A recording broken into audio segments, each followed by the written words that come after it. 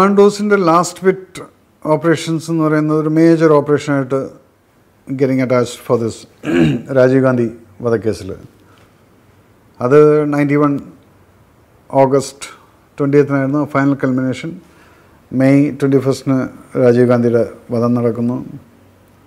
അത് കഴിഞ്ഞ് നമ്മൾ ജോയിൻ ചെയ്തിട്ട് ആ ഓപ്പറേഷനാണ് ഒരു ടിപ്പിക്കൽ ഓപ്പറേഷൻ എന്ന് പറയില്ലേ നമുക്ക് ഓർഡർ കിട്ടിയിരിക്കുന്നത് എല്ലാ ഇതിലും പോയിട്ട് ഓക്കെ പോയിക്കോ കൊന്നോ തിരിച്ചു വന്നേക്ക്. ഫിനിഷ് ദം ഓഫ് എന്ന്. ഇവിടെ അതല്ല. മരിക്കാൻ വേണ്ടി നടക്കുന്നവനെ ജീവനോടെ പിടിക്കുക എന്നുള്ളതാണ്. അത് കഴുത്തിൽ സൈനൈഡും തൂക്കിക്കൊണ്ട് നടക്കുന്നവനെ ജീവനോടെ പിടിക്കുക എന്നുള്ളതാണ്. അപ്പോൾ അവിടെ ഒരു വെപ്പൺ എന്നുള്ളത് ഒരു ക്രൈറ്റീരിയ അല്ല. How will you cast this person alive അങ്ങനെ ആ ഓപ്പറേഷൻസിൽ ഓരോന്നും ഓരോന്നായിട്ട് തുടക്കം മുതലേക്ക് തുടക്കത്തിലെല്ലാം കുറച്ചാണ് അതിനെയൊക്കെ സി ബി ഐക്കാരും പോലീസും ഇതെല്ലാം പിടിച്ചു കഴിഞ്ഞാലും അവസാനം ശിവരാസൻ ഓപ്പറേഷനിലേക്ക് എത്തുമ്പോൾ അതിന് മുന്നേ ബാംഗ്ലൂർ വെച്ച് ജസ്റ്റ് മിസ്സിങ് ജസ്റ്റ് മിസ്സിങ് ഒരു ദിവസമൊക്കെ പിന്നിലായിട്ട് ഞങ്ങൾ ചേസ് ചെയ്തിട്ടുണ്ട്. ബാംഗ്ലൂരിൽ ഇന്ദിരാനഗറിൽ ഒറ്റ ദിവസം കൊണ്ടാണ് മിസ്സായത് ഇന്ന് രാത്രി ഒരു പോന്നു പിറ്റേ ദിവസം കാലത്ത് നമ്മൾ പോയിട്ട് ആ വീട് റൈഡ് ചെയ്യുന്നു. അവിടെ കണ്ടിരിക്കുന്നത് സയനൈഡ് കഴിച്ചിട്ടുള്ള ഒരാളെ നമ്മൾ സേവ് ചെയ്തിട്ടുണ്ട്. പഠിക്കുമ്പോൾ പറയും സയനൈഡിന്റെ ടേസ്റ്റ് എന്താണെന്നുള്ളത് വരെ ആർക്കും അറിയില്ല എന്നുള്ളത്. പക്ഷേ ഒരു നാൽപ്പത്തഞ്ച് സെക്കൻഡ് അമ്പത് സെക്കൻഡിനുള്ളിൽ നമുക്ക് സേവ് ചെയ്യാൻ പറ്റുന്ന സംവിധാനം. കാരണം ഈ നാൽപ്പത്തഞ്ച് ഒരു മിനിറ്റൊക്കെയാണ് ഇതിന്റെ ബേസിക് ടൈം എടുക്കുന്നത്. ഇയാൾ ഫുള്ളായിട്ട് അങ്ങ് മരിച്ചു പോകാൻ വേണ്ടിയിട്ട്. അപ്പോൾ ഈ നാൽപ്പത്തഞ്ച് അമ്പത് സെക്കൻഡ് നമുക്ക് കിട്ടിക്കഴിഞ്ഞാൽ ആന്റിഡോട്ട് കഴിച്ചിട്ട് റിവൈവ് ചെയ്തിട്ടുള്ള കേസുകളുണ്ട് അതിനകത്ത്. രണ്ടെണ്ണം വരുത്തിച്ചിരുന്ന ആന്റിഡോട്ടും ഇതെല്ലാം വെച്ചിട്ട്. അങ്ങനെ ശിവരാസിന്റെ ഈ കേസ് വരുന്ന സമയത്താണ് ഓഗസ്റ്റ് പതിനെട്ടാം തീയതി ഈവനിങ് ഇന്നിപ്പം രാജു സാറില്ല അദ്ദേഹം മരിച്ചുപോയി. വളരെയധികം ഞാൻ റെസ്പെക്റ്റ് ചെയ്യുന്ന ഒരു മനുഷ്യനാണ്. കാരണം അദ്ദേഹത്തിന്റെ വൈഫിന് വളരെ സീരിയസ് ആയിട്ടുള്ള അസുഖം ഉണ്ടായിരുന്ന സമയത്ത് പോലും ഞങ്ങളാരും അറിഞ്ഞിട്ടില്ല അദ്ദേഹത്തിന് ഇത്രയും വലിയൊരു ഫാമിലി പ്രോബ്ലം അവിടെ ഉണ്ട്. ട്വന്റി ഫോർ അവേഴ്സ് ഞങ്ങളുടെ കൂടെ എസ് ഐ ടി മല്ലികയിൽ നിന്നിരുന്ന മഹാനായിട്ടുള്ളൊരു വ്യക്തിയാണ് ഒരു I P S officer Radha Vinod Raju എന്ന് പറയുന്ന മനുഷ്യൻ. അദ്ദേഹം സ്വന്തമായിട്ടിരുന്ന് ബുക്ക് എഴുതിയിട്ട് ഞാനാണ് ഈ ഓപ്പറേഷൻ ചെയ്തതെന്നുള്ളതില്ല ഇവിടെ പലരും അതുപോലുള്ള ബുക്കുകളൊക്കെ എഴുതിയിട്ട് ഞാനാണ് ഈ ഓപ്പറേഷൻ ചെയ്ത് അവിടെ രാജു സാറിന്റെ പേര് പോലും മെൻഷൻ ചെയ്യാൻ മറന്നിട്ടുള്ള ആളാണ്. എസ് ഐ ടിയിൽ ബുക്കിന്റെ മുകളിൽ ഒരു പേരുണ്ട്. പക്ഷേ രാജു സാർ എന്നുള്ള വ്യക്തി എന്തായിരുന്നു എന്നുള്ളത് ഞാൻ ഈ മൂന്ന് മാസം അദ്ദേഹത്തിന്റെ കൂടെ ഇരുന്ന് ഞാൻ കണ്ടിട്ടുണ്ട്. വളരെ ബ്രില്യന്റ് ആയിട്ടുള്ള വളരെ ഇന്റലിജന്റ് ആയിട്ടുള്ള ഒരു സി ബി ഐ ഓഫീസർ അദ്ദേഹത്തിന്റെ അദ്ദേഹം കാശ്മീർ കേട്ടറിലായിരുന്നു പക്ഷെ അദ്ദേഹത്തിന്റെ കൂടെ വർക്ക് ചെയ്യുന്ന സമയത്തുണ്ടായിരുന്ന ഒരു സാറ്റിസ്ഫാക്ഷൻ ലെവൽ എന്ന് പറയുന്നത് ഭയങ്കരമാണ് കാരണം ഒരു കമാൻഡോ എന്ന ലെവലിൽ അദ്ദേഹം പലപ്പോഴും ചോദിക്കും ഇവിടെ തന്നെ സമ്മതിച്ചിരിക്കണം കേട്ടോ. ഞങ്ങളിത് ഇതാണ് ടാർഗറ്റ് എന്ന് പറയുമ്പോഴത്തേക്കും താൻ ഇതാ കൈ ഇങ്ങനെ ആക്കിയിട്ട് അങ്ങ് ഓടുന്ന കാണാമെന്ന് പറയും അപ്പം നമ്മൾ സാർ അതെന്റെ ജോലിയാണ്. സാറിനെ പോലുള്ള ആൾക്കാർ ബുക്കിലിരുന്ന് എഴുതിയിട്ട് അവൻ എങ്ങനെ പോയി എങ്ങനെ പോയി എന്നുള്ളത് നോക്കിയിട്ട് ഞങ്ങളുടെ അടുത്ത് പറയുന്നില്ലേ? ഇത് ഞങ്ങളുടെ ജോലിയാണ് സാർ. അപ്പോൾ അത് ഞങ്ങൾ അങ്ങനെയാണ് ചെയ്യുന്നത്. സമ്മതിച്ചിരിക്കുന്നത് രാജ് സാർ പലപ്പോഴും എന്നെക്കുറിച്ച് പറയുന്നത് കേൾക്കുമ്പോൾ നമുക്ക് ഫീൽ ചെയ്യും. അദ്ദേഹം അതെല്ലാം ഒബ്സർവ് ചെയ്തിട്ടുണ്ടെന്നുള്ളത് അദ്ദേഹം ഇന്ന് ഈ ലോകത്തിൽ ഇല്ല. റിട്ടയർ റിട്ടയറായി രണ്ട് വർഷത്തിനകത്ത് അദ്ദേഹം മരിച്ചുപോയി. പക്ഷേ അദ്ദേഹത്തെ ഈ കേസിന്റെ കാര്യം പറഞ്ഞു കഴിഞ്ഞാൽ ഞാൻ പറയുമ്പോൾ രാജീവ് ഗാന്ധി വധക്കേസിന്റെ കംപ്ലീറ്റ് ക്ലൂ എടുത്തിട്ട് ആ കേസിനെ ഈ തൊണ്ണൂറ് ദിവസം കൊണ്ട് ആക്കിയിട്ടുണ്ടെങ്കിൽ ഫിനിഷ് ചെയ്തിട്ടുണ്ടെങ്കിൽ അതിന്റെ complete credit goes to Radha Vinod Raju. അതുപോലെ തന്നെ ഇന്ന് പി എം മധു എന്ന് പറയുന്ന അന്നത്തെ ഡി എ ജിമാരായിരുന്നു ബാലാജി അതുപോലെ മനോഹർ ഇങ്ങനെയുള്ള കുറച്ച് ഓഫീസേഴ്സ് പക്ഷേ ദിസ് മാൻ വാസ് ഗ്രേറ്റ് അപ്പോൾ അങ്ങനെ കാര്യങ്ങൾ നടക്കുന്നുണ്ട് ഇൻവെസ്റ്റിഗേഷൻസ് നടക്കുന്നുണ്ട്. അതിന്റെ കൂട്ടത്തിൽ നമുക്ക് പിന്നെ ആ എന്നടുത്ത് ഓക്കെ നമ്മളെല്ലാവരും കൂടെ ഓടുന്നു. അവിടെ പോകുന്നു. ഒരുത്തനെ പിടിക്കുന്നു മറ്റവനെ പിടിക്കുന്നു. ഇങ്ങനെ ഓരോന്ന് പിടിക്കുക ആരൊക്കെ പിടിച്ചു എന്ന് ചോദിച്ചു കഴിഞ്ഞാൽ നമുക്ക് യാതൊരു പിടിയില്ല. കാരണം ഇവരൊന്നും പേര് നമുക്കറിയില്ല. എന്ന് നമുക്കറിയില്ല. കാറ് കൊണ്ടുവന്ന് അവിടെ നിർത്തുന്നു. ഇതാണ്. പിന്നെ ഇവനെ പോയിട്ട് എങ്ങനെ പിടിക്കുന്നു എന്നുള്ള പണി മാത്രമാണ് നമ്മൾ ഈ കമാൻഡോസ് ചെയ്യുന്നത്. അത് ചെയ്തു തിരിച്ചവിടെ കൊടുത്ത് നേരെ എസ് ഐ ടിയിൽ വന്ന് തൈര് സാധനം കഴിച്ചിട്ട് പിന്നെയും വെയിറ്റ് ചെയ്തുകൊണ്ടിരിക്കുകയാണ്. വയർലെസ്സിൽ എന്താ മെസ്സേജ് വരുന്നത്? അന്ന് കംപ്ലീറ്റ് സമ്മർ സീസണിൽ കാരണം ഈ മെയ് ടു ജൂൺ എന്ന് പറയുന്ന ആ സമയമാണ് കത്രി വെയിൽ എന്നൊക്കെ പറയുന്ന സമയത്ത് ഞങ്ങൾ ഡേ നൈറ്റ് വർക്ക് ചെയ്തുകൊണ്ടിരിക്കുകയായിരുന്നു. അപ്പോൾ ഗ്രൗണ്ട് ലെവലിൽ അവിടെ ഉണ്ടായിരുന്ന ഒരു ഡി എസ് പി ശിവാജി ഉണ്ടായിരുന്നു. അതുപോലെ തന്നെ രഘോത്തമൻ. ഇവരൊക്കെ ഒന്നും ഇപ്പം ഇവിടെ ഉണ്ട്. ജീ പക്ഷേ ഇവരൊന്നും പേര് നിങ്ങൾ ആരും കേട്ട് കാണില്ല. പക്ഷെ they are people who really was working hard ഈ ശിവാജി എന്ന് പറയുന്ന മനുഷ്യനെയൊക്കെ ഞാൻ ഞങ്ങൾ ഓപ്പറേഷന്റെ സ്ഥലത്ത് ചെല്ലുമ്പോഴായിരിക്കും ഈ മനുഷ്യൻ അവിടെ കാണുന്നത്. കാരണം ഇങ്ങനെയായിരുന്നു ഇത് ഈ വെയിലത്ത് മുഴുവൻ നടന്ന് ചേസ് ചെയ്തിട്ട് അവിടെ എത്തിയിരിക്കുന്നത്. അവിടുത്തെ രാജ് സാറിനെ ബ്രീഫ് ചെയ്യും. Sir okay. ഡോ അതിനകത്ത് മൂന്നാളുണ്ടെന്നാണ് പറയുന്നത്. ഓക്കെ. പോവല്ലേ? ശരി പോവാ. സാർ അവിടെ നിൽക്കുക ഞങ്ങൾ പോകുന്നു. പിന്നെ ഇവർ ഒബ്സർവ് ചെയ്യണം. ഞങ്ങൾ എങ്ങനെയാണ് അകത്ത് കയറുന്നു പോരുന്നു വരുന്നു പിടിച്ച് പുറത്തേക്ക് ഇടുന്നു.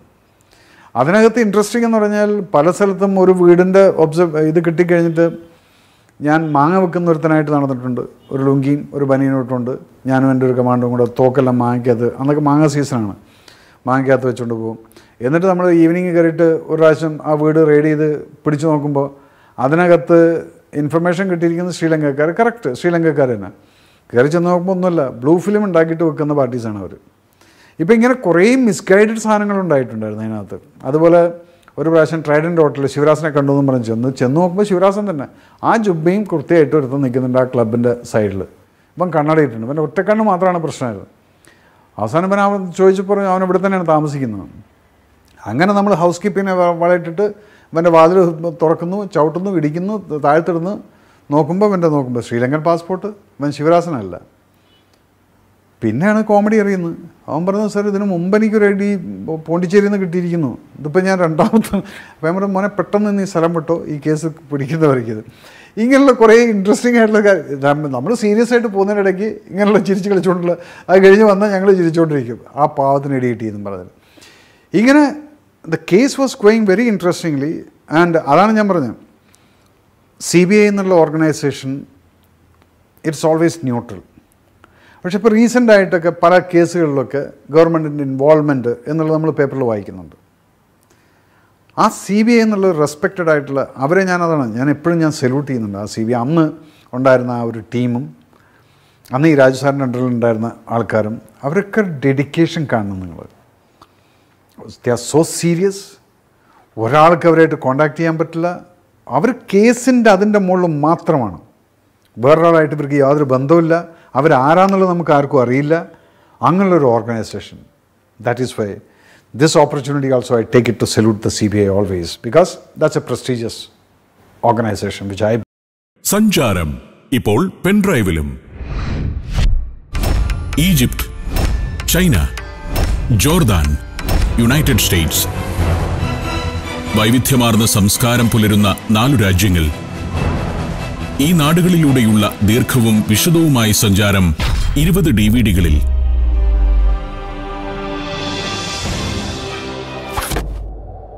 ഇതാ പുറത്തിറങ്ങിയിരിക്കുന്നു സഞ്ചാരം ഡി വി ഡികളുടെ എട്ടാം വോളിയം. ഈജിപ്ത് നൈൽ നദീതടത്തിലെ പുരാതന സാംസ്കാരിക ഭൂമിക. ചരിത്രപ്രസിദ്ധമായ അസ്വാൻ ഫിലേ ക്ഷേത്രം Abu Simbel Luxor valley of the kings Karnak ക്ഷേത്രം ഗിസയിലെ പിരമിഡുകൾ sphinx Saladin citadel Cairo tower തുടങ്ങി നിരവധിയായ കാഴ്ചകൾ. China. ഹോങ്കോങ്ങിലെ Kowloon Harbour Victoria Peak Happy Valley Stanley Market തുടങ്ങി ഒട്ടേറെ സ്ഥലങ്ങൾ.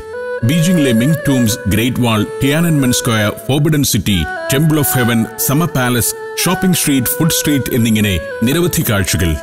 മക്കാവുവിലെ കാസിനോകൾ നൈറ്റ് ലൈഫ് മക്കാവു കോട്ട ആമാ ക്ഷേത്രം Macau Tower Red Market Senado square തുടങ്ങി വൈവിധ്യമാർന്ന പ്രദേശങ്ങൾ.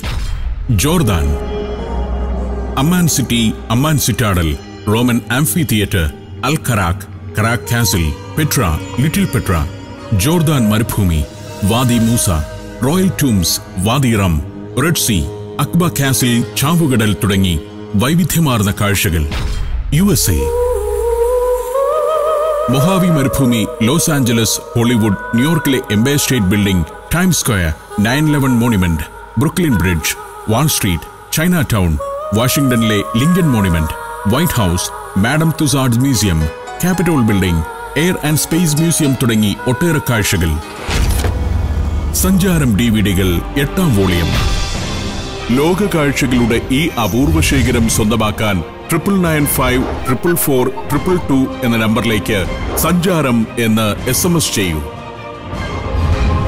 ഇപ്പോൾ പെൻഡ്രൈവിലും ലഭിക്കുന്നു.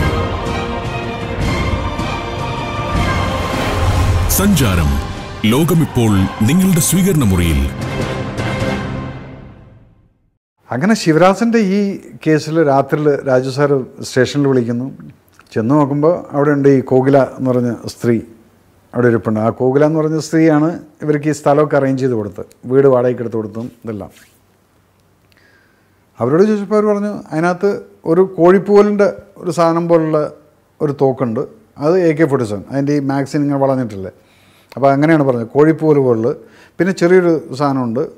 പിന്നെ രണ്ട് ഗ്രനേഡ്സ് ഉണ്ടെന്നുള്ളത്. അപ്പം വെപ്പൺസ് എത്രയുണ്ടെന്നുള്ളത് നമുക്ക് മനസ്സിലായി. സയനൈഡ് എല്ലാവരുടെ കയ്യിലും ഉണ്ടെന്നുള്ളത്.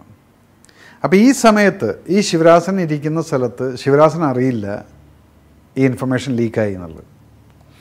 അന്ന് രാത്രി ഞാൻ പ്ലീഡ് ചെയ്തു. അപ്പോൾ രാജു സാറിന്റെ കയ്യിലല്ല ഇത് കാർത്തികന്റെ കയ്യിലായിരുന്നു. Karthikan has to give the order and he was sitting in Hyderabad അങ്ങനെ പറഞ്ഞ നോ നോ നോ ഞാൻ വന്നിട്ട് ഓപ്പറേഷൻ ചെയ്താൽ മതി. അപ്പോൾ ഞാൻ പറഞ്ഞു ഈ സർപ്രൈസ് എലിമെന്റ് ലോസ് ആയി കഴിഞ്ഞാൽ പിന്നീട് ഇതിനകത്തൊന്നും നടക്കില്ല സർ ഞങ്ങൾ കമാൻഡോ സൂപ്പർ ഹ്യൂമൻസ് അല്ല. So let's finish this operation by today tonight and before early morning some that was delayed പിന്നെ ഞങ്ങളവിടെ പോയി പിറ്റേ ദിവസം കാലത്ത് കാണുന്നത് എന്താ വെച്ചാൽ ഒരു പത്ത് പതിനായിരം ആൾക്കാർ ഈ വീടിന്റെ ചുറ്റും കൂടിയിരിക്കും. കാരണം ഇതിന്റെ പിറകിൽ കുറേ ആൾക്കാർ നിൽക്കുന്നതെല്ലാം കണ്ട് ആൾക്കാർ ചോദിച്ചു ചോദിച്ച് ഈ ഇൻഫർമേഷൻ ലീക്ക് ഔട്ടായി. പിന്നെ ഞാനെന്നുള്ള കമാൻഡോ ഞങ്ങളുടെ ഒരു ആറ് പേരും ഈ വീടിന്റെ ഇപ്പുറത്തുള്ള വീട്ടിലിരിക്കുകയാണ്. ഇവനെ കാത്തുകൊണ്ട് പെർമിഷൻ കിട്ടാൻ വേണ്ടിയിട്ട്. ആ permission why it was delayed എന്നുള്ളത് ഈവൻ ഇന്നും എനിക്കൊരു ചോദ്യമാണത്. ശിവരാസന്റെ ഓപ്പറേഷൻ വരുന്ന സമയത്ത് എന്തിന് എന്തിനാണ് why did he want to come there മൂപ്പർ കുറേ എക്സ്പ്ലനേഷൻസ് ഒക്കെ പറഞ്ഞു. അവിടെ ആന്റിഡോട്ട് ഉണ്ടായിരുന്നില്ല. അതിന് എന്റെ അടുത്ത് എട്ട് ആന്റിഡോട്ടിന്റെ കിറ്റ് ഉണ്ടായിരുന്ന ഒരു ഡോക്ടറും ഉണ്ടായിരുന്നു. അപ്പോൾ അതൊന്നും അല്ല. അത് കഴിഞ്ഞിട്ട് പിന്നീട് പിറ്റേ ദിവസം കാലത്ത് ഇരുപതാം തീയതി കാലത്ത് അഞ്ച് മണിക്കാണ്. അതിന് മുന്നെന്തായി? ശിവരാസൻ ഗ്യാങ്ങിന് ഫ്രസ്ട്രേഷനായി അവർ എന്താണ് അവന്മാർ രാത്രിയായിട്ടും കയറി വരാത്തതെന്ന് വിചാരിച്ചു. അപ്പോൾ അവന്റെ പ്ലാൻ എന്താണെന്ന് വെച്ചാൽ ഞാൻ കയറി ചെല്ലുമ്പോൾ ബേസ്റ്റ് ചെയ്യുക എന്നിട്ട് അവർ സൈനായിട്ട് കടിച്ചിട്ടെങ്കിൽ ചാവുക എന്നുള്ളത്. അപ്പോൾ ഞങ്ങൾ കുറച്ച് ആൾക്കാരെയും കൊല്ലാൻ പറ്റുമല്ലോ ഇത് നടന്നില്ല. അന്ന് ഈവനിങ്ങുകൾ പുറത്തേക്ക് വിടുവിച്ചു. ഞങ്ങൾ തിരിച്ചു വിടുവിച്ചു. എന്റെ അടുത്തിന് വയർ കൂടെ ബുള്ളറ്റ് പോയി. He survived but I shattered all the window panes എനിക്ക് അത് കയറാനുള്ള order ഇല്ലായുള്ളൂ so we finished the entire area lit up and അതിനെ കറക്റ്റായിട്ട് അകത്ത് കയറാൻ പെർമിഷൻ കിട്ടുന്നവരൊക്കെ ഇങ്ങനെ ഇരിക്കാമെന്ന് പറഞ്ഞു. അങ്ങനെ ഇരുന്ന് പിറ്റേ ദിവസം കാലത്താണ് നമ്മൾ കയറി ചെല്ലുന്നത്. കയറി ചെല്ലുമ്പോൾ എന്താ ഈ ഫയർ ഫൈറ്റ് കഴിഞ്ഞ് വരികയാണ് ഇവർ സയനൈഡും കഴിച്ചു ശിവരാസിനെ വേറെ ആളെ കൊണ്ട് വെടിയും വിപ്പിച്ചിട്ട് എല്ലാം ഫിനിഷായിട്ട് കിടക്കുന്നതാണ്. ഒരു പന്ത് പത്ത് മണിക്കൂറിന്റെ ഗ്യാപ്പ് ഉണ്ട് ആ ബോഡിക്ക് അത്രയും സ്റ്റിഫായിരിക്കും എന്തിനായിരുന്നു അത്? അത് കഴിഞ്ഞ് നമ്മൾ പുറത്തേക്ക് വരുന്നു. പുറത്തേക്ക് വന്നു കഴിഞ്ഞ് വരുമ്പോഴത്തേക്കും ഈ ആൾക്കാരൊക്കെ ഇത്രയും ക്രൗഡ് ഇവിടെ നിൽക്കുന്നത് ഇവർക്ക് എന്താണ് ഇവിടെ അവനെ ശിവരാസിനെയും ഗ്യാങ്ങിനെയും കാണണം അത്രയേ ഉള്ളൂ. പക്ഷേ അവർ ഈ സെക്യൂരിറ്റി ലീക്കായ കാരണം എന്തെല്ലാം നടന്നു എന്തെല്ലാം പാളിച്ചകൾ പറ്റി എന്നുള്ളതൊന്നും പബ്ലിക് റിയലൈസ് ചെയ്യുന്നില്ല. സോ പബ്ലിക്കിന്റെയും കൂടെ റെസ്പോൺസിബിലിറ്റി ഉണ്ട്. ചില കാര്യങ്ങൾ പോലീസുകാർ പറയുന്ന സമയത്ത് അവിടെ അഹങ്കാരം കാണിക്കാതെ ഞാൻ ഞാനൊന്നും അങ്ങോട്ട് പോവും ഞാനവിടെ പോയി നോക്കട്ടെ. അതല്ല there will be some reason why you are not permitted to go to that side commando operations ഏറ്റവും വലിയ ഡിസ്കസ്റ്റിംഗ് ഓപ്പറേഷൻ എന്ന് പറയുന്നത് എനിക്ക് അതായിരുന്നു. ബിക്കോസ് ഞാൻ വളരെയധികം ആരാധിക്കുന്ന ഒരു ഇൻഡിവിജ്വലായിരുന്നു രാജീവ് ഗാന്ധി എന്ന് പറയുന്നത്. അത് പാർട്ടി എന്നല്ല ഒരു ഇൻഡിവിജ്വൽ എന്നുള്ള ലെവലിൽ എനിക്ക് വലിയ ഇഷ്ടമായിരുന്നു. അദ്ദേഹത്തിനെ കൊല ചെയ്തവരെ പിടിക്കാനുള്ള ഓപ്പറേഷൻ നമുക്ക് കിട്ടുക അതെന്നിട്ട് ചെയ്യാൻ പറ്റാതിരിക്കുക. നമ്മളവിടെ ഉണ്ട് ചെയ്യാൻ പറ്റുമായിരുന്നു. ആ സമയത്ത് നമുക്കൊരു പെർമിഷൻ എന്നുള്ളൊരു കാര്യത്തിനുമുള്ളത് അതെന്താണെന്ന് വെച്ചാൽ ഞാനവിടെ ഉള്ളപ്പോൾ ചെയ്താൽ മതി. എങ്കിലല്ലേ എന്റെ പേപ്പറിൽ ഫോട്ടോ ഒക്കെ വരുള്ളൂ അല്ലെങ്കിൽ ടി വിയിൽ ഫോട്ടോ വരുള്ളൂ എന്നുള്ള ചിന്താഗതിയിലുള്ള സീനിയർ ഓഫീസേഴ്സ് വന്നു കഴിഞ്ഞാൽ പ്രശ്നം തന്നെയാണ്. അദ്ദേഹത്തിന് അത് പറഞ്ഞാൽ മതിയായിരുന്നു. അത് ശരി okay do it. I reach by tomorrow morning എന്ന് പറഞ്ഞാൽ ആ ഓപ്പറേഷൻ നമ്മൾ ഒന്നുകിൽ നമ്മൾ ജീവനോട് വരും അല്ലെങ്കിൽ നമ്മൾ ജീവനോട് അവരെ പിടിച്ചുകൊണ്ട് വരും അല്ലെങ്കിൽ രണ്ടുപേരും മരിച്ചു പോകാൻ സാധ്യതയുണ്ട്. അത് different issue but as an operation ഒരാളുടെയും ഇൻഡിവിജ്വൽ ഇൻട്രസ്റ്റിന്റെ മുകളിൽ നമ്മുടെ രാജ്യത്തിന്റെ സുരക്ഷയിൽ അത് വരാൻ പാടില്ലത്. സോ ഐ ഐസത്തേക്ക് ഓൾവേസ് ആ ഒന്നും ചെയ്യാൻ പറ്റാതെ പോയൊരു ഓപ്പറേഷൻ എന്നുള്ളത്. അതാണ് ഞാൻ മിഷൻ നയന്റി എന്നുള്ള സിനിമയിൽ കാണിച്ചിരിക്കുന്നത്. മമ്മൂക്കാന്റെ ക്യാരക്ടർ അത്രയും ലാസ്റ്റിലൊക്കെ ഇരുന്ന് ഡിസ്കസ്റ്റഡ് ആയിട്ടുള്ളത് മമ്മൂക്ക നല്ല നന്നായിട്ടത് ആ ഒരു ഫീൽ തന്നെയാണ് കാണിച്ചിരിക്കുന്നത്. ഒരു മനുഷ്യന്റെ മാനസികാവസ്ഥ. അതായിരുന്നു ആ സിനിമ. അത് കഴിഞ്ഞതിന് ശേഷം പിന്നീട് ലൈഫിൽ ഇനി എന്ത്? അത് കഴിഞ്ഞിട്ടായിരുന്നു ഈ റൊമാനിയൻ അംബാസിഡർ റാഡുവിന്റെ ലാസ്റ്റ് ഓപ്പറേഷൻ അത് അത് കഴിഞ്ഞിട്ടാണ് എനിക്ക് പെട്ടെന്ന് ഒരു കോൾ വരുന്നത്. എൻ എസ് ജിയിലപ്പോഴത്തേക്ക് നാല് വർഷമായിരിക്കുന്നു. ആർമി ചീഫിന്റെ സെക്യൂരിറ്റി എ ഡി സി ആയിട്ട് സെലക്ട് ആയെന്നും പറഞ്ഞിട്ട്. Indian army ചീഫിന്റെ that was General Rodrigues S F റോട്രിക്സിന്റെ അദ്ദേഹത്തിന്റെ chief security A D C ആയിട്ട്. അങ്ങനെ ഞാൻ രണ്ട് വർഷം ആർമി ഹെഡ് ക്വാർട്ടേഴ്സിൽ അദ്ദേഹത്തിന്റെ കൂടെ സെർവ് ചെയ്തത് അവിടെയാണ് നമ്മൾ ജീവിതം വേറൊരു ആംഗിളിൽ കാണുന്നത്. ബിക്കോസ് ആർമിയുടെ ഏറ്റവും വലിയ തലവന്റെ വലത്തെ കൈ ഒരേ ഒരുമിച്ച് അദ്ദേഹം എഴുന്നേറ്റിട്ട് കിടന്നുറങ്ങുന്നവരെ നമ്മൾ കൂടെ ഉണ്ടായിരിക്കും. അപ്പോൾ ഏതൊരു ഓപ്പറേഷൻ ഏതൊരു മീറ്റിംഗ് ആണെങ്കിലും എന്താണെങ്കിലും ശരി. അപ്പോൾ നമ്മൾ ലൈഫിനെ കുറച്ചുകൂടെ മെച്ചുവേർഡായിട്ട് കാണാൻ ഒരു ആർമി കമാൻഡ് ചെയ്യുന്ന complete Indian army second largest army in the world അതിനെ കമാൻഡ് ചെയ്യുന്ന അതിന്റെ ചീഫിന്റെ കൂടെ നടക്കുന്ന സമയത്ത് ഈ കമാൻഡോസിലുണ്ടായിരുന്ന പോലെയല്ല. കുറച്ചുകൂടെ you are suppose to look everything in a diplomatical way എല്ലാം കാണുന്നതും അവരായിട്ട് ഡീൽ ചെയ്യുന്നതും അവരായിട്ടുള്ള സംസാര രീതി എംബസികളുമായിട്ട് ഡീൽ ചെയ്യുന്നത് ഇങ്ങനെ പല കാര്യങ്ങളും ആ രണ്ട് വർഷത്തിനകത്ത്. പക്ഷേ അവിടെ എനിക്ക് ഏറ്റവും വലിയ പേടി ഉണ്ടായിരുന്നത് എന്താണെന്ന് വെച്ചാൽ ഈ കമാൻഡോസിലുണ്ടായിരുന്ന സമയത്ത് ഒരിക്കലും എ സി കാറോ അല്ലെങ്കിൽ എ സി റൂമോ യൂസ് ചെയ്യാൻ കിട്ടാറില്ല. എപ്പോഴും വെയിലിലും പൊടിയിലും ഇതിലൊക്കെയായിരുന്നു ടെന്റിലൊക്കെ താമസിക്കുന്നത്.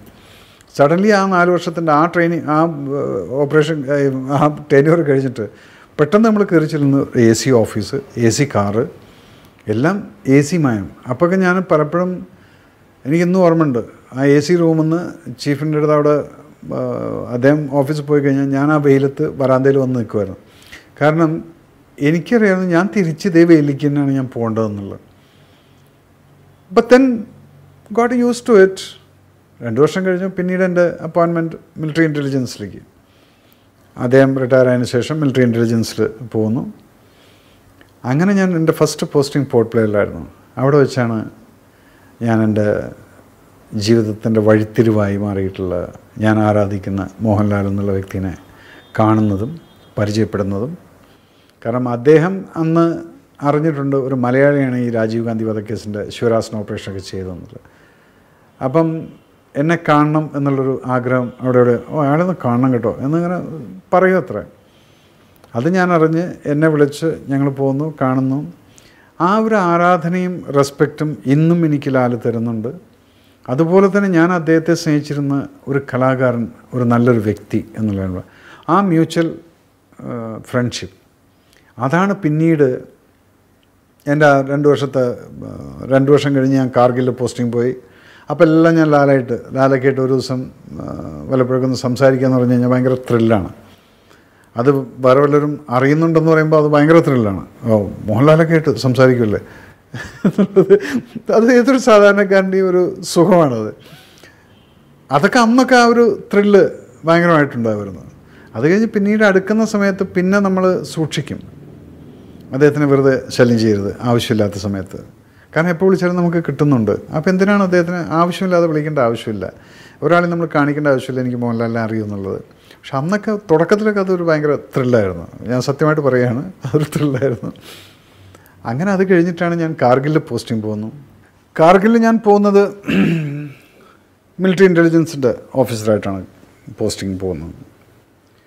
അവിടെ ബേസിക്കലി നമ്മൾ ഈ ട്രാൻസ്പോർട്ട് ഇന്റലിജൻസ് കളക്ട് ചെയ്യുക എന്നുള്ളതൊക്കെയാണ്. ഈ പാകിസ്ഥാൻ അത്രയും അടുത്താണ്. അപ്പോൾ അവിടെ ഇങ്ങനെയുള്ള സ്ഥലങ്ങളിൽ പല മൂമെന്റ്സും നടക്കും. അപ്പോൾ ഇന്റലിജൻസ് ലീക്കിങ് അപ്പോൾ ഇതിനെയൊക്കെ ഒന്ന് കൗണ്ടർ ചെയ്യാനാണ് നമ്മളൊരു മിലിറ്ററി ഓഫീസർ അവിടെ ഉണ്ടായിരിക്കുന്നത്. അവിടുത്തെ ആ ഒരു രണ്ട് വർഷത്തെ സർവീസ് എന്ന് പറഞ്ഞാൽ വെരി സാറ്റിസ്ഫൈങ് ആയിരുന്നു. Complete L O C line of കൺട്രോളിലുള്ള സ്ഥലങ്ങൾ മുഴുവൻ കണ്ട് നമ്മൾ പരിചയപ്പെട്ട് ഏതിലെയാണ് നുഴഞ്ഞുകയറ്റക്കാർക്ക് വരാൻ പറ്റുന്ന പോക്കറ്റുകൾ ഇങ്ങനെയുള്ള കാര്യങ്ങളൊക്കെ നമ്മൾ കണ്ടുപിടിക്കുക അതിനെ ബ്ലോക്ക് ചെയ്യുക. ഇതൊക്കെയാണ് നമ്മൾ ബേസിക് ഈ ബ്ലോക്ക് ചെയ്യുന്നത് നമ്മളായിരിക്കില്ല. നമ്മളതിനെ ആർമിക്ക് ഇൻഫർമേഷൻ കൊടുത്ത് അവരെ കൊണ്ട് അത് ബ്ലോക്ക് ചെയ്യിപ്പിക്കുക. അപ്പോൾ നോക്കുന്ന സമയത്ത് നമുക്ക് എങ്ങനെയാണ് ഒരു നുഴഞ്ഞുകയറ്റക്കാരൻ കയറി വരുന്നത്? എങ്ങനെയാണ് ഇവനതിനകത്ത് കയറിയിട്ട് എങ്ങനെയാണ് സ്പ്രെഡായി പോകുന്നത്? നമ്മളറിയാതെ. ഇതൊക്കെയായിരുന്നു ബേസിക് ജോബ് അവിടെ പോയിട്ട് ഇവരെ ബ്ലോക്ക് ചെയ്യുക. അതുപോലെ തന്നെ ഇവിടുന്ന് അങ്ങോട്ട് പോകുന്ന ആൾക്കാരെയും നമ്മൾ ഐഡന്റിഫൈ ചെയ്യണം. ആരാണ് അങ്ങോട്ട് ചായ്മയുള്ളത്? കാർഗിലിൽ സത്യം പറഞ്ഞു കഴിഞ്ഞാൽ അങ്ങോട്ട് ചായ്മയുള്ളവർ കുറവായിരുന്നു. കാരണം അവർക്ക് പാകിസ്ഥാൻ എന്ന് പറഞ്ഞ് they were not very happy not like Kashmir ഇവിടെ അവർ ദേ ആർ വെരി ബിക്കോസ് ഇവിടെ ഒരു ഹിന്ദു മിക്സിംഗ് ഉണ്ട്. ഹിന്ദു എന്ന് പറഞ്ഞാൽ ബുദ്ധിസം മിക്സിംഗ് ഉള്ളൊരു സ്ഥലമാണത്. അപ്പോൾ അവിടുത്തെ പോപ്പുലേഷൻ മുസ്ലിംസ് ആണെങ്കിൽ കൂടെ എന്തിനു ഞാൻ കുരുക്ഷേത്ര എന്നുള്ള പടം ഷൂട്ട് ചെയ്യുന്ന സമയത്ത് പാകിസ്ഥാനിയായിട്ട് അഭിനയിക്കാൻ ആൾക്കാരെ അവിടുന്ന് വിളിച്ചപ്പം അവർ വരില്ല എന്ന് പറഞ്ഞു. ഞങ്ങൾ ആ യൂണിഫോം ഇടില്ല എന്ന് പറഞ്ഞു. ഞങ്ങൾ എത്ര പൈസ തന്നാലും വേണ്ടില്ല ഇന്ത്യൻ പട്ടാളക്കാരായിട്ട് വേണമെങ്കിൽ ഞങ്ങൾ ഇടാമെന്ന് അതാണ് അവർ കാണിച്ച സ്പിരിറ്റ് അപ്പം ഇത്രയും അടുത്ത് കിടക്കുന്നത് കാർഗിലാണ് ഏറ്റവും അടുത്ത് കിടക്കുന്ന സ്ഥലം പാകിസ്ഥാന്റെ എൽ ഒ സി ഇതിൽ അവർക്ക് ആ സ്പിരിറ്റ് കാണിച്ച സമയത്ത് മനസ്സിലായി യെസ് ദേ വിൽ സപ്പോർട്ട് അപ്പോൾ അവിടുന്ന് ഇഷ്ടംപോലെ ആൾക്കാരുണ്ടായിരുന്നു നമുക്ക് ഇൻഫർമേഷൻ തരാനും അവരുടെ മൂമെന്റ്സിനെ അറിഞ്ഞ് നമ്മളെ അറിയിപ്പിക്കാനും. ഇതൊക്കെയായിരുന്നു കാർഗിലിൽ മിലിറ്ററി ഇന്റലിജൻസ് എന്നുള്ള ലെവലിലുള്ള ഒരു ജോലി. രാത്രിയിൽ കിടന്നിട്ട് ഇങ്ങനെ ഉറക്കം വരുന്നില്ല. അപ്പം ഞാൻ വേഗം മോഹൻലാലിനെ വിളിച്ചു. ലാലിനെ വിളിച്ചിട്ടുണ്ട് ആണ് എന്റെ അടുത്തൊരു കഥയുണ്ട്. ഒന്ന് വന്ന് പറഞ്ഞോട്ടെ എന്ന് വെച്ചു എന്ത് കഥയാണെന്ന് വെച്ചു ഒരു കമാൻഡോ കഥ? എന്ന്. പട്ടാള കഥയാണെന്ന് വെച്ചു അതെ. ആ ഞാൻ കാഞ്ഞങ്ങാട്ടുണ്ട് വരുമെന്ന് പറഞ്ഞു. അങ്ങനെ ഞാൻ